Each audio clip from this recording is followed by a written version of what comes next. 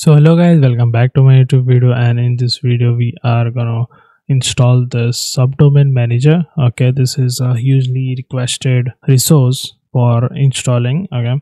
So i'm gonna do a video on this. Uh, for this you will be needing a domain and also be needing blueprint installed. What is blueprint? It's like an extension for your pterodactyl panel where you can easily install add-ons okay? So i have already done the installation of blueprint. If you don't have blueprint installed you can watch a video on my youtube channel.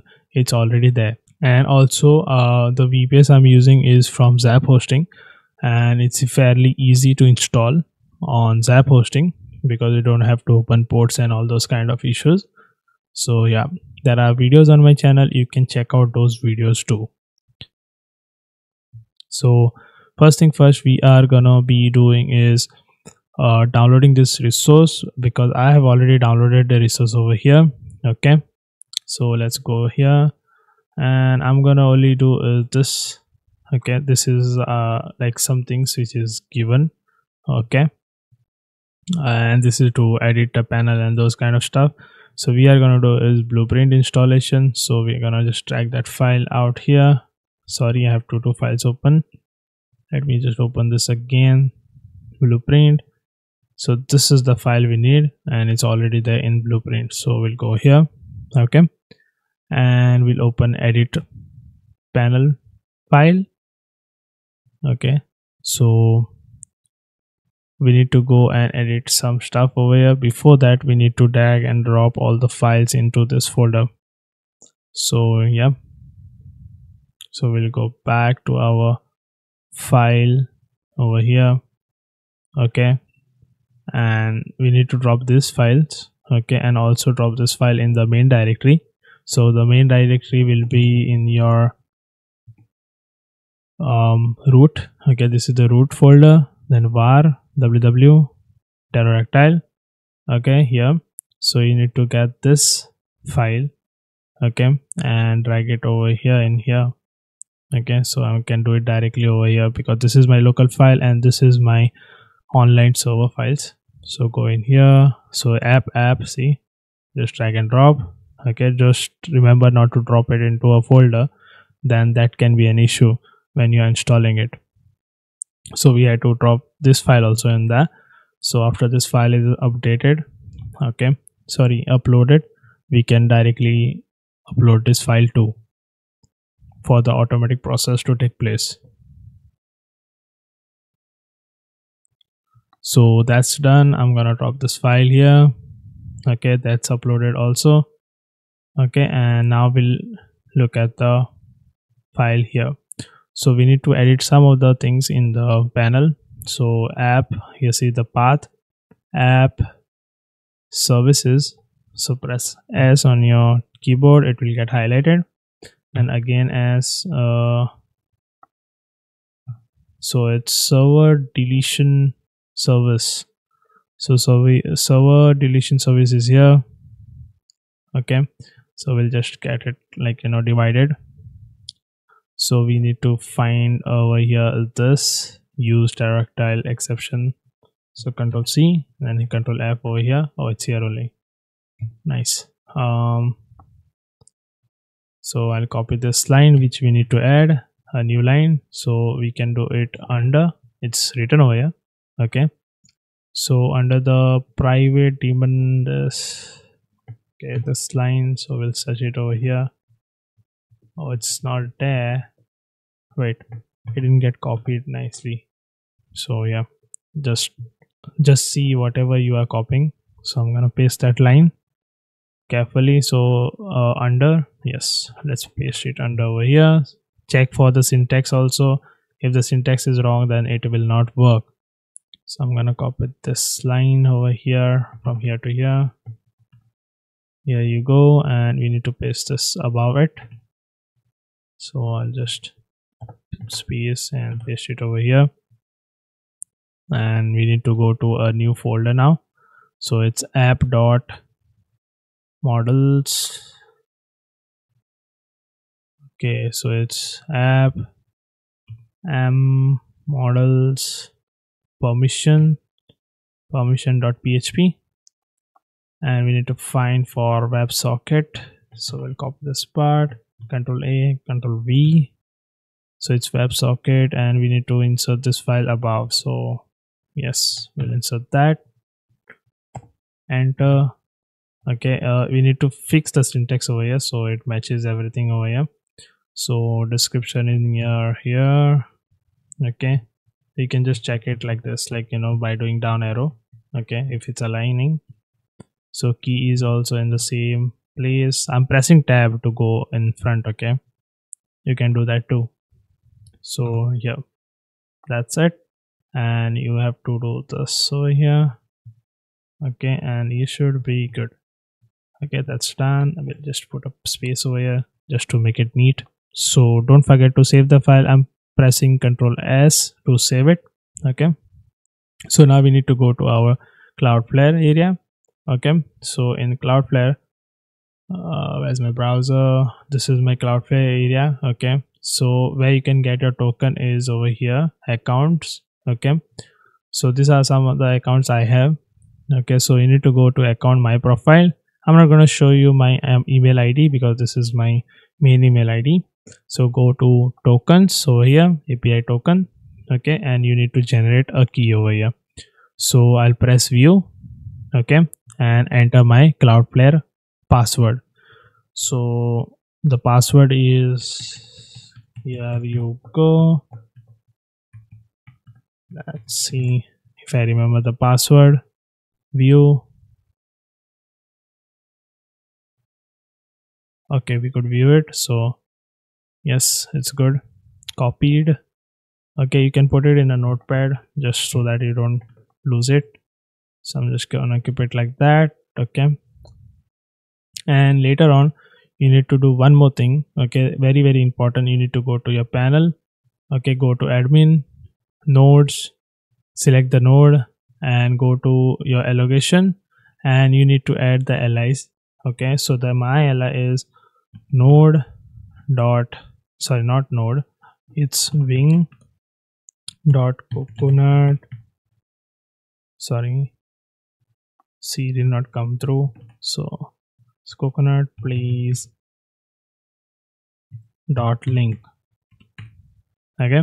This is the domain. And you need to put it like this. Uh, where i got it from? I'm using the domain for my configurations over here in the settings as you can see here. So wing dot coconut place dot link so you need to put it same or you can put anything.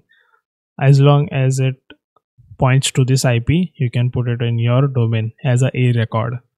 So we'll do that. And now we are gonna put it here too. So the server i have i'll give it like a extra allocation. Okay additional ports. Here you go. Okay we have assigned like a additional port to it.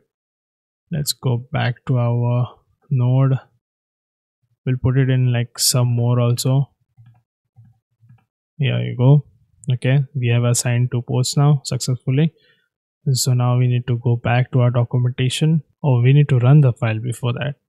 So in order to you know get all the things done so we need to go in this path. Okay so cd that path paste okay? And then we need to run this command over here. If you have installed blueprint correctly then it will work otherwise it will not work. So i'm installing it now.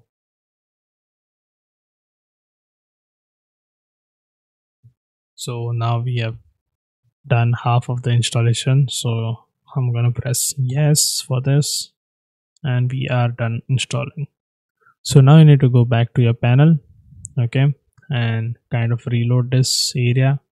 And you can see here is subdomain manager. Go press on it. And we need to add our email. My email is this okay in my cloudflare so i'm gonna just add it. And my api key. I'll just see which one I have over here. Copy it and then paste it here.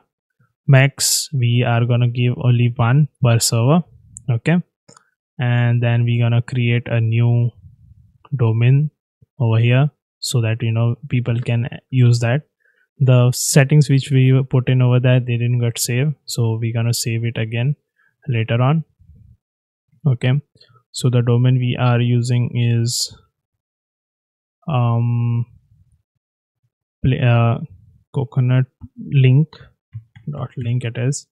So yeah. So paper and for minecraft is this okay. So you, you need to just uh, copy it like from here only. So for example it's here minecraft. So we're gonna put only minecraft directly over here as it's mentioning over here okay as the protocol for paper. So the protocol we'll use is tcp okay for minecraft. And then we are gonna press create okay that's done. And now we'll add our credentials over here.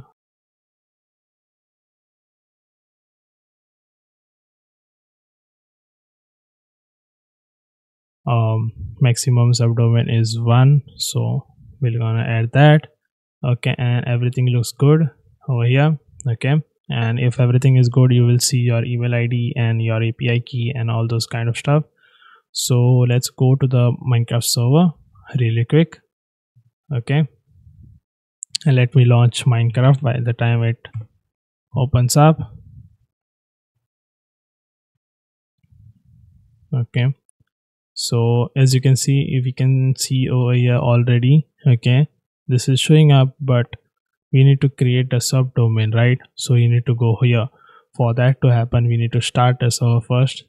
Okay. Let me launch this minecraft server. It will take some time so i have deleted uh, one which i didn't wanted to use. So i'm gonna add new.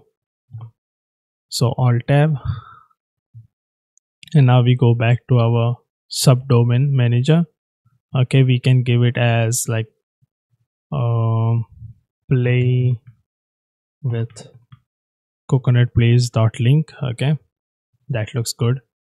So we're gonna create one and if everything works fine we should be able to connect with this domain. Okay? And we can see it in our cloudflare let me just select the domain really quick.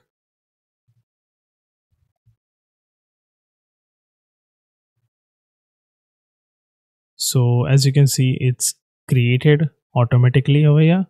Okay so that's a good sign that it's created automatically. And now what we are gonna do is we just gonna paste the ip over here. So play with coconut plays.com or sorry dot link. And as you can see the server is pingable.